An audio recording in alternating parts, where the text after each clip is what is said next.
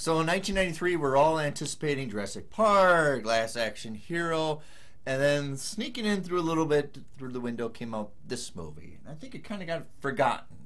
Well, partially because Joe Dante, its director, wasn't really known for this type of movie. Right. This movie references the type of movies that Joe Dante would love, Yes. but he was known as Piranha and The Howling and Gremlins and these horror esque ideals. Right. And the first time I saw this when I was 13, I swear to God, I thought it was a John Waters movie.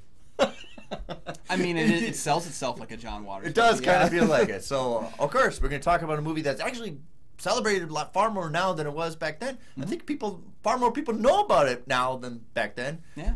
Matinee.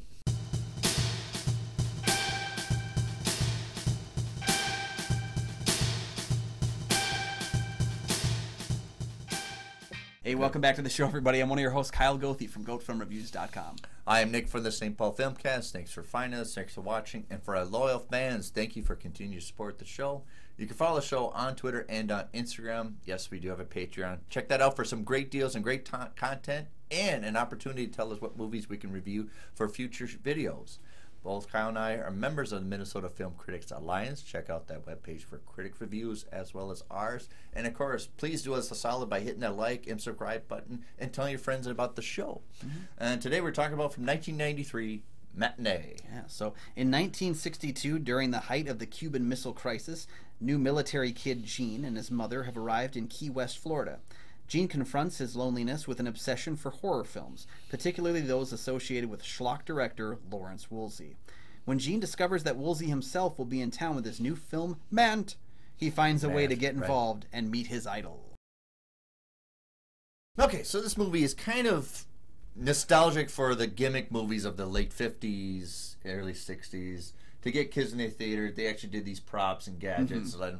You know, Most of them were William Castle related, which is, I mean, Yeah, if, William if you, Castle, right. Lawrence Woolsey is based on anybody, it's absolutely William, William Castle. Castle. Um, there was there was very specific references in the film to William Castle. With the he mentions ghosts flying across the screen, which was thirteen ghosts. He mentions the the shock moments in the the seats, buzzers which is on the seats, yeah. Tingler.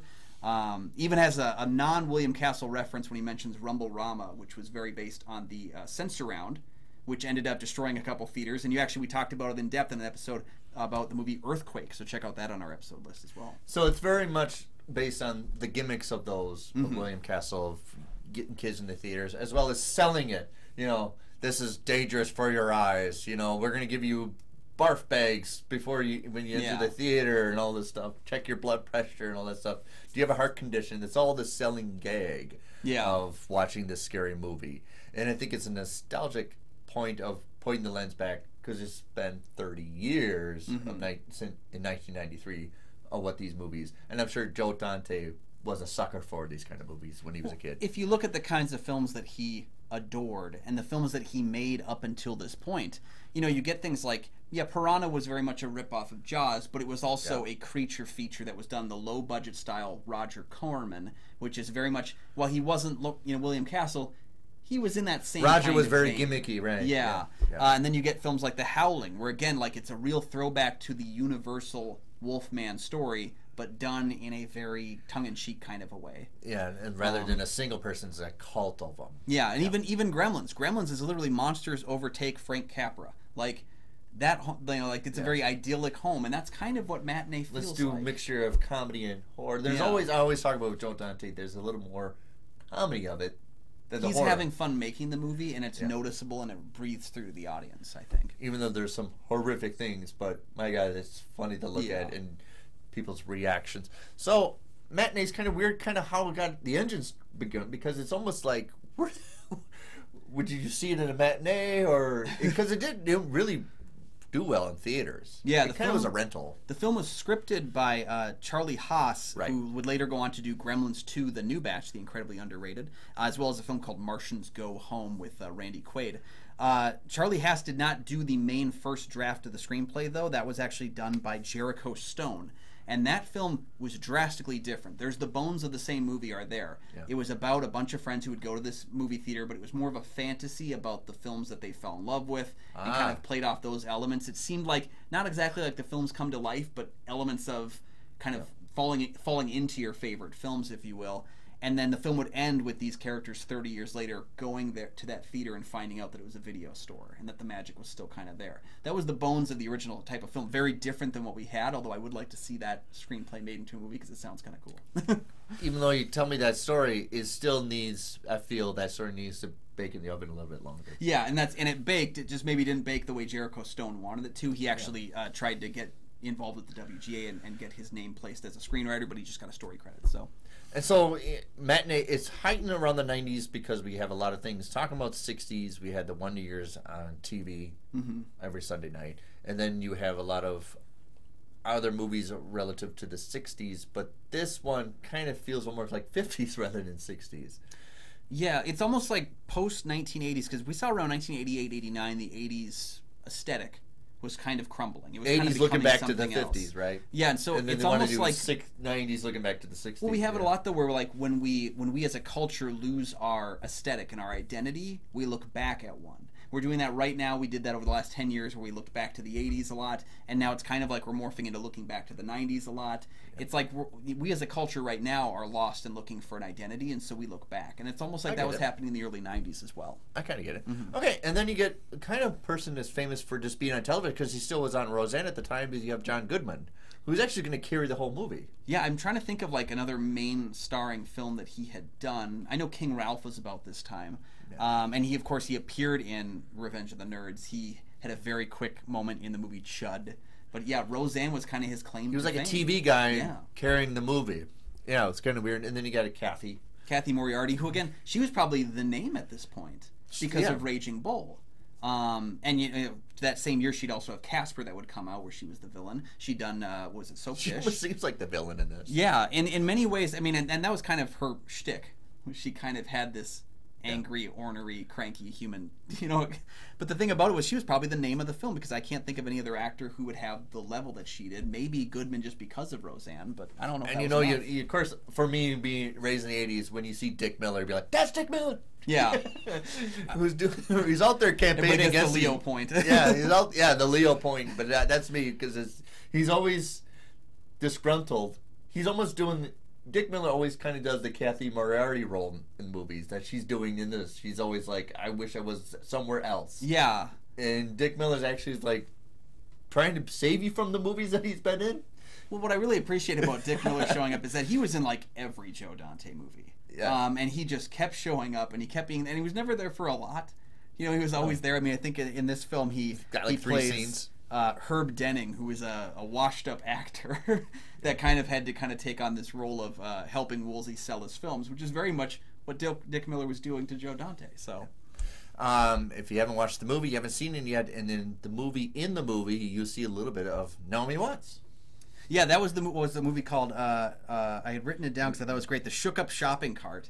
This is her U.S. debut. Yeah. I think she would follow this up by being the star in one of the Children of the Corn films. I believe number four. And then and then Um, she would do Mulholland. Mulholland yeah, Drive. and then she would finally break out and have something really worthwhile. But I was kind of in shock to see her in this kind of uh, pseudo Disney film that Yeah. she was doing. You know, there's a lot of those during Those the '60s. Six, early '60s Um, Herbie Love Bug and all that stuff. My right? Father, the Car, or something like that. Right, you know? very Schlotsky. I would watch the Shook Up Shopping Cart, though. Let me be clear: if you make that into a feature film, I would watch the hell out of it. But you have to get Naomi Watts in there. So the whole premise, if you didn't know, is the wonder of being a kid wanting to go see. It's almost a kid's perspective of Mm-hmm. the entire because you get two different angles. You got the sales salesman. What do you want to do in the industry? Then you got the kid's perspective of receiving the end of I want to see a scary movie. Yep. And so you have these two dynamics going side by side. Yeah. And so I think that's the gimmick of Joe Dante. He could s- remember him being a kid in the 60s and what it felt like, but also the director's point of view of how do I sell this to Yeah, it's a perfect look back kind of a film. There's that nostalgic love, but the thing about nostalgia is that it's used best when it's used for story purpose, which is what Joe Dante is doing here. Is he is looking back on the things that he loved. You see that uh, famous Monsters of Filmland uh, magazine that Gene is looking through. That's something that 15-year-old Joe Dante wrote to. He wrote an article that ended up in there about the 50 worst movies ever made. Uh, spoiler alert: he hadn't seen most of them, but uh, he wrote a bunch of these mo- like things for them, and so. Such a, that's such, such a- something you would yeah. do that. Yeah. but yeah, I think he like. How do you know it's a love film? for that. I don't have to see it. Yeah. yeah. There's a certain love for that time period though, and I think that shines through both in the movie in the movie and also in Gene's character. I mean, Gene is very much an archetype of myself from the 90s. When I was a kid, I, I could gobble up horror movies by the handful and, and just give me more, give me more. I would go out and rent like five, six on a weekend and just rip through some fun stuff. And some of the other films I didn't really care for as much. You know, the, the shook up shopping carts of the world, I didn't care for as much. It's funny. There's a love triangle in this movie. It, kill, it kills me. Yeah, it's weird. It's a weird teenage love triangle. But the girl, the, the girl's, her younger brother. I love him. I got your diary, Yeah. And I'm He's just kind of involved being a, a dirtbag. Yeah. dirtbag child. I'm gonna spill him his secrets unless he take me to this movie. I love it. That Yeah. kid is going places, man. what I like about the the, the film, we'll get, we'll get further into our review as we go along, Yeah. but uh, what I really like about it is that it's kind of this confluence of all these people saying they're not going to get to the movie, and then they all end up there anyway for the for the insanity. It's Um, exactly what happened when we went to the '90s for the video store. I'm not gonna get a movie, and then you go and you're like. I'm just going to look around. Yeah, And then yeah. you leave with a bag with like six of them in there. Are your friends like, I'm gonna go see a movie and like, or go somewhere else, and then you find them at the movie store. That's happened. Yeah. Uh, Omri Katz appears in the film. This is uh, he plays the friend Stan, uh, and if you're a fan of Hocus Pocus, you know Omri Katz because he was the lead actor in that film.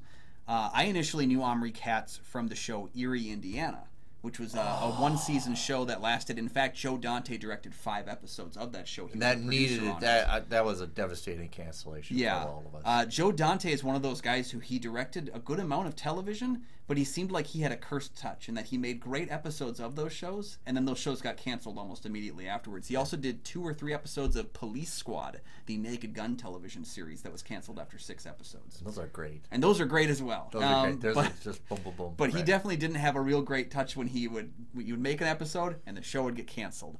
Uh, maybe he's the reason why Masters of Horror only lasted two seasons was because he did a couple episodes of that show and it disappeared as well. But I like the before we get to our review. I'd like the caption of it Hmm. because there's it's almost like a kids show.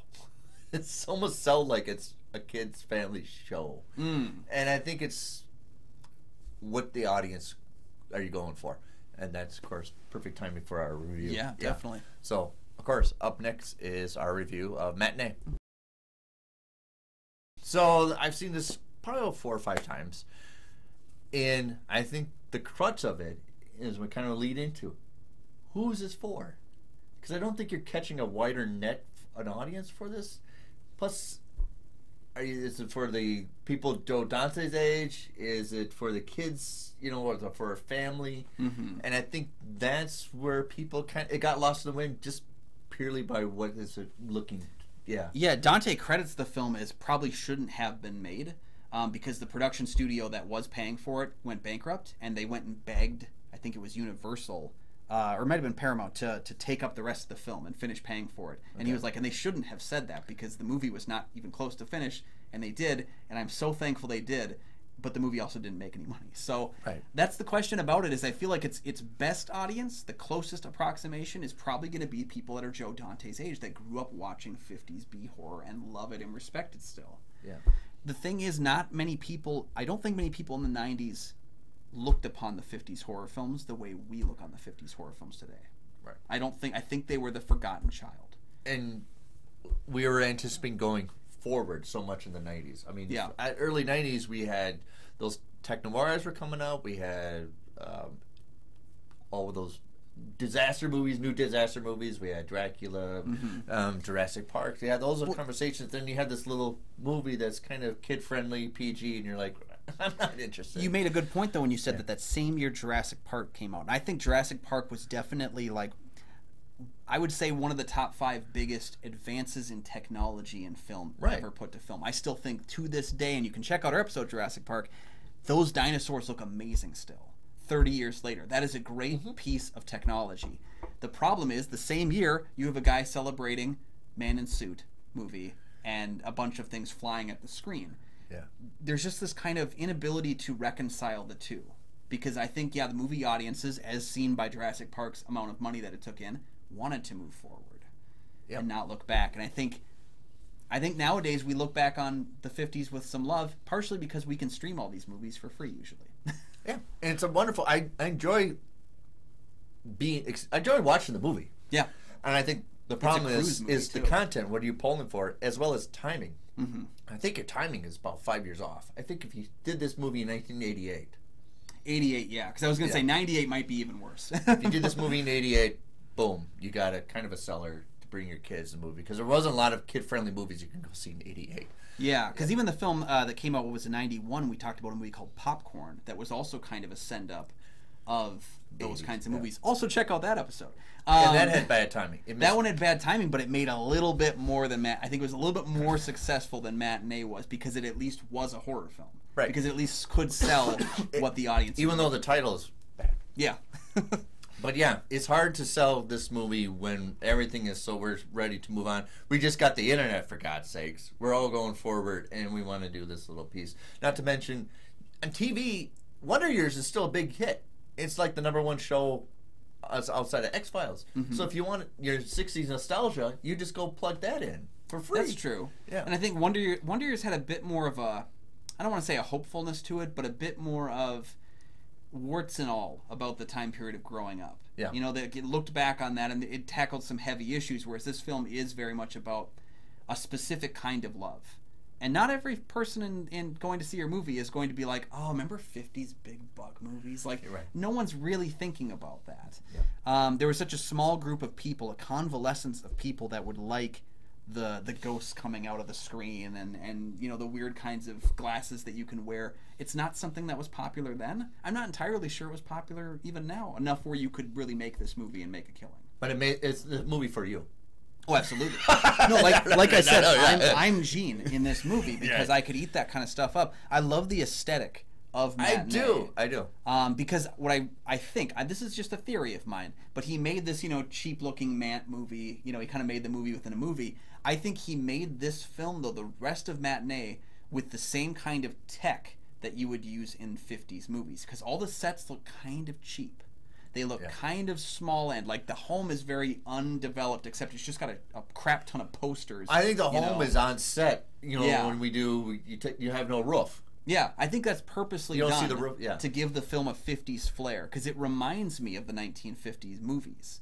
Um, and and part of you know I've been there's a video game I love called Destroy All Humans, which is about an alien in the 50s that goes to a town and basically tries to kill everyone. Um, and you play as the alien, and that has the same kind of send up style to it of 1950s-ness, where it's like we're making fun of it, but we're also loving that time period. We're loving that kind of peculiar, we're gonna die at any moment time period. That MGM color to it, but then Mm-hmm. you're throwing a little hokiness monster into it. But you're all enjoying having the fun. Yeah. It's also playing on the dynamics of being real anxiety versus selling anxiety, real fear of the real world. But then to escape that fear, we're gonna go get scared at the movies. Yeah, it's what happened during the 30s. You know, we had the the stock market crash, And you go see Dracula. then the Great Depression, and yeah, you just went to see because somebody And else Lord was King getting Kong. hurt. Yeah. You know, uh, in the 80s, we kind of had this response to the Reaganomics of the time and the response to the the tightening of the purse strings of things like Dungeons and Dragons. We wanted to go see something that we weren't supposed to see, and so through most of the 80s, a lot of the horror was the nth degree. I agree. Um, there, you know, these are responses to their time periods, and maybe it was because in the early '90s we had a lot of problems in our country, but they weren't as on the wall. They weren't in every news piece, and maybe that was why this film didn't work as well, is because people didn't need to escape in the same way that we did. Exactly. Mm-hmm. But I would uh, recommend giving this, this movie a, a shot. Yeah, I found it for uh, in a pack with nine other movies for five bucks at Target, so you can probably get it pretty cheap. Yeah, it's Um, available pretty cheap on rentals for all the streaming services. Yeah. So you've got, you know, you've got John Goodman, who I think gives a not a career best performance, but one of his best performances. Oh, when he tickles that guy's ear and grabs his popcorn. Oh, absolutely, yeah. It's just he knew everything that his character was supposed to do. Yeah. And it's amazing that he is an actor. I mean, this is what he was known for in the time period, was being the kind of goofy guy, and he is goofy in there. But there's a lot of heart in what he's doing. When he talks about about what you see on the screen, and and kind of compares the idea of like covering your eyes is not what you want to do. The point of watching the movie is to subject yourself to the scares so that you get stronger because you know you survived it. I love that sequence with him and, and Simon. And Fenton. they don't get a refund. We don't have a second show. Yeah. Well, I mean, there's no money for that. Yeah. Um, but yeah, I think I think Simon Fenton does a pretty good job. I think Omri Katz is really great. Uh, Kellie Martin, who plays uh, Sherry, who's the love interest for Stan, the friend. Yep. Uh, I think she's really good for what she's supposed to do. She would later go on to voice the the romantic interest in the Goofy movie. Um, and the other person I really want to celebrate is Lisa Jakub, who plays uh, Sandra, who is the love interest for uh, Gene At the end, yeah. um, the girl that gets pulled away because she said, "What's the point in hiding under our our book bags? We're just Yeah. going to get obliterated by the bombs." She's like the conscientious character. Yeah. Yeah. I think she showcases in this film such a warmth and such a gentility that is really strong in this film. She would later go on to do Mrs. Doubtfire and Independence Day. You'll reckon Um, it. Yeah, she's like my age. Yeah. Yeah, and I think she is.